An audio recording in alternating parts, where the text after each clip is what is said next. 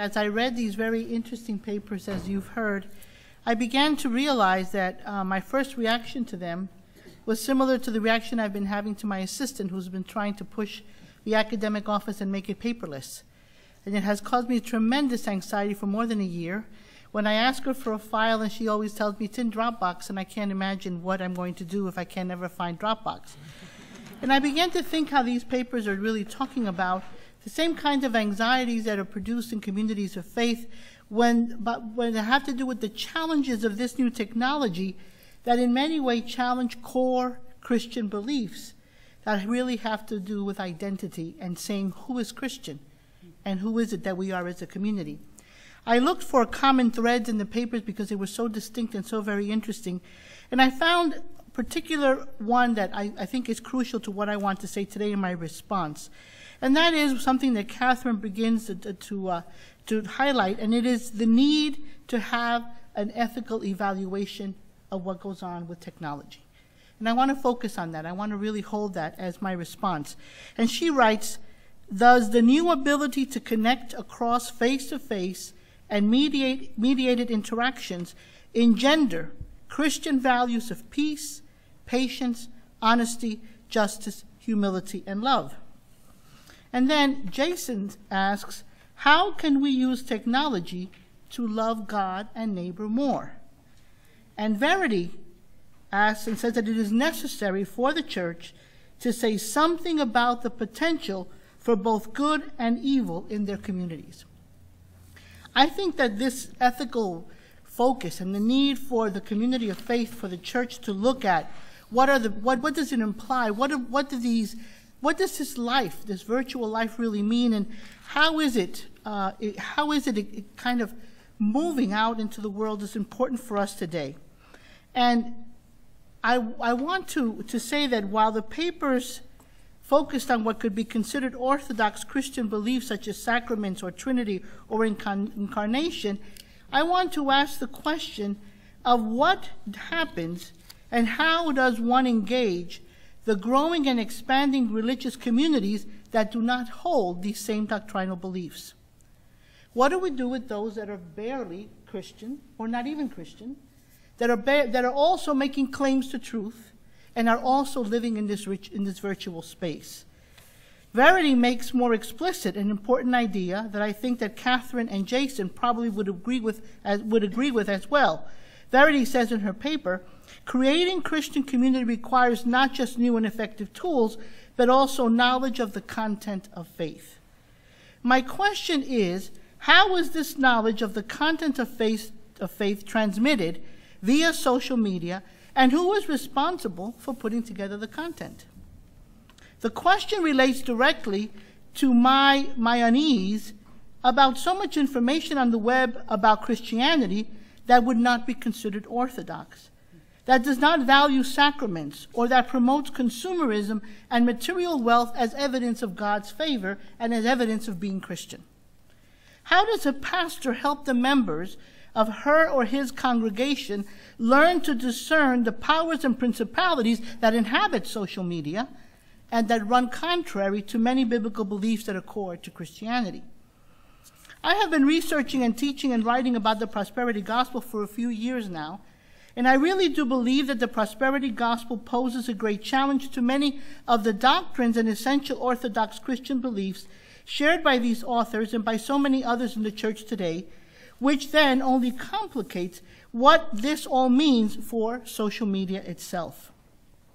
If there is any group today calling itself Christian that is also very savvy about the use of social media to promote its message, it would be many of the primary and successful prosperity gospel preachers who market themselves today. The great problem I see is that these figures pose, that these figures pose to mainline Christian communities, whether Protestant or Roman Catholic, is that they draw from very deep and embedded ideologies that are part and parcel of U.S. culture and society. And the same way that we cannot be other than embodied, these communities are also embodying a very real social and cultural worldview that challenges these basic and orthodox Christian beliefs. So, can churches today, particularly pastors who oversee or, pro- or, provide the content of social media for their own congregations, really counteract what is a very strong ideal in this nation today the ideal of wealth and health as indicators of God's favor? In the 2006 Time magazine, when in 2006 Time magazine conducted a national poll and found that 17% of Christians surveyed belonged to a prosperity gospel movement. 61% surveyed say they believed in a God who wants people to be prosperous. And 31% say, said that they believed that if you gave your money to God, God will bless you with more money. I think that if we are to follow Barth's advice to preach with the Bible in one hand and the newspaper in the other, as Jason reminds us, in this case today it is to preach with an open computer in the other or a phone, then the very critical issue of economics must be a part of the analysis and ethical evaluation that we also make of the web and of all of the social media. It is precisely because social media is inherently progressive and because it can level the playing field between the haves and the have nots, where the excluded are now able to connect that an analysis of how ideas about money impact not only the content of what churchgoers in particular and people in general read in, or listen to or are exposed to in social media, but they also continue to reinforce these same ideas that help to create a very individualistic, materialistic, consumer driven understanding of the relations between God and humans. And I believe that the greatest challenge is that these ideas, now so prevalent in social media about money and wealth, are really part of the DNA of this nation. All of us here are aware that Christianity has indeed, through the centuries, made use of various ways to communicate and reach out to create not only community, but to promote identity and teach a theology. This has been especially true in the United States. We find in the great urban revivals, and we heard from, uh, from the from professor was talking about Whitefield, but we find in Whitefield, an early figure, but also in the urban revivals of Moody and Finney and Billy Sunday, how valuable broadcast media was to promote their evangelistic efforts. But more than that, how these notable and respected evangelists used broadcast media of their day, making them part of entertainment and pop culture. The history of Christianity in the United States also teaches us that as media changed in its form and as technology advanced, it was quickly embraced by the new and rising religious leaders. We heard from, from Professor how the whole issue with radio, right? And he talked about Aimee McPherson. And Aimee McPherson actually bought a radio station in northern Mexico because she wanted access to broadcast media. She wanted to go out there. So in the 1920s, she buys this radio station in northern Mexico, making her someone who was able to reach out much way, much broader than she was reaching out to and to the uh, than the folks in the Angelus Temple. And she was specifically dealing with the issues of the day, which were prohibition and Darwinism. Because of she, because of, of this movement, we see that in, that she is followed two decades later in the 1940s by Oral Roberts, who comes on the scene claiming direct and personal communication with God that was revealed in a healing ministry that helped him to reach millions of people in their own homes. Television made Roberts and all those who came after him an easily recognizable media figure, but also one that television viewers intimately connected with as they sat in the privacy of their home. This embrace of technology by these early evangelists to promote their message really helped to make religion a product of the market for public consumption that is still alive and well in today's social media. Each one of these people, whether Whitefield, Finney, Moody, McPherson, Roberts, uh, Oral Roberts, not only continued to shape Christianity in the United States, but they also introduced a new theological worldview, a new ecclesiology, a new pneumatology, a new way to understand God and relate to God that I think that these papers highlighted. It's helped pushing us to think about how these doctrines now are expanded as every generation that uses media, what they're doing to these ideas. But even more than that, they also showed how profitable it was to package and market their kind of Christianity.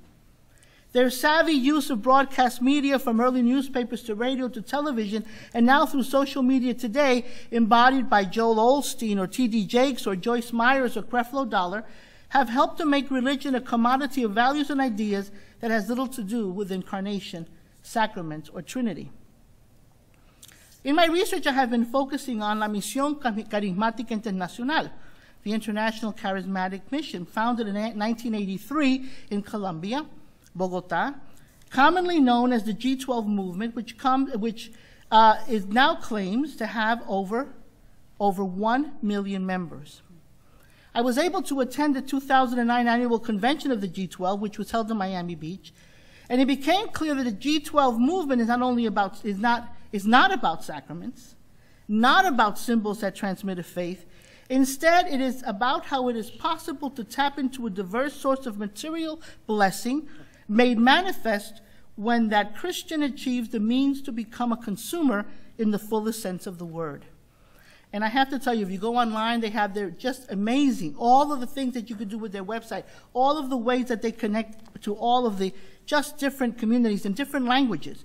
Uh, the, to the G12, we can add La Iglesia Universal del Reino de Dios, which is the Universal Church of the Kingdom of God, founded in Brazil in 1977, believed to have 12 million members worldwide. And you can it, find it also in most U.S. cities with large concentrations of Brazilians. To this we add the Yoido Full Gospel Church founded in 1981, the largest church in Korea with over a million members. And in Nigeria, we find the Redeemed Christian Church of God led by Pastor Enoch Ade Adeboye, who was named one of the 50 global elites by Newsweek, a man of great political and economic influence who can be heard in, many of the, uh, in any of the many YouTube sermons online. It seems to me that an examination of what is happening today in social media and its impact on Christianity and congregations must take into account and must carefully examine the impact of these powerful and very public prosperity gospel neo Pentecostal preachers, whose influence is also present in the U.S. today, whether in the Latino communities in Miami or Los Angeles, as well as in New York or in the large Nigerian and Ghanaian communities found right here in Brooklyn and the Brazilian communities of Boston. I think that what I want to really focus on is to, to ask the question of, as we talk this Christian talk, as we talk about doctrines, as we talk about these ideas that are so embedded in, in the orthodox sense of Christianity, how do we then evaluate and look at these other groups as well? How do we look at these international movements that use social media to connect to its constituents and to attract new followers. Cesar Castellanos in Colombia, David Yonggi Cho, founder of the Full Gospel Church in Korea, Edir Macedo, founder of the Universal Church of the Kingdom of God in Brazil, Carlos Cash Luna, founder of La Casa de Dios in Guatemala, Enoch Adeboye in Nigeria have become the new voices the new faces of the non-English speaking prosperity ideal. But here is the twist. Prosperity gospel is a U.S. product. And as Jim Wallis argues, perhaps one of America's biggest exports in the 20th and 21st century is the prosperity gospel. However, what is more important to us to keep in mind today is that once exported outside of the U.S. borders, they are returning home. And in the case of Cesar Castellanos, they are impacting U.S. Latino church by encouraging a bloated, conspicuous consumerism that cannot be sustained by the thousands of Latinos and Latina converts who live in economically marginalized communities. That is why I agree with Verity when she writes in her paper social forces that impact the ways in which Christian communities are shaped and function are particularly interesting and ripe for theological reflection. And a social force that cannot be overlooked when critically examining social media and theology is certainly the prosperity gospel, precisely because its roots lie in U.S. Christianity. And in a particular reading of the Bible found by, found by some Christian preachers who, also, who are, were also the first to use broadcast media and today continue to use social media. The personal riches Uh, the idea that personal riches become a mark of individual achievement for the non-believer and a mark of God's favor for many Christians is important to keep in mind as we think about who is it that we're talking about in this Christian community. But what is even more interesting to me is that when the theological idea was exported to the global south, it took on a new significance, especially for economically marginalized communities that can today, that today have migrated and can be found in any of the large urban centers of this nation. Because I agree when Verity says Christians have something to say about the potential for good and evil in their communities, it is my hope that this new media project will help to really create a conversation that will think critically and think and begin to think ethically about those who are part of the Christian community, whether we want them or not. Groups that we have created that are a U.S. phenomenon and that now are impacting what is going on in our racial ethnic communities. I hope that this project can really move us to a conversation with, ch with church leaders and with, and with organizations and institutions like Union, with students and professors to think about how is it that we can provide an ethical response to these kind of teachings that really end up hurting our communities, especially our racial ethnic communities. The prosperity gospel in its current form today must be critically examined so that the ethical evaluation of social media that Kathryn calls for extends beyond the theological orthodox Christian communities and ideas and doctrines and also includes those who are on the theological margins but whose market power and social influence cannot be ignored. Thank you.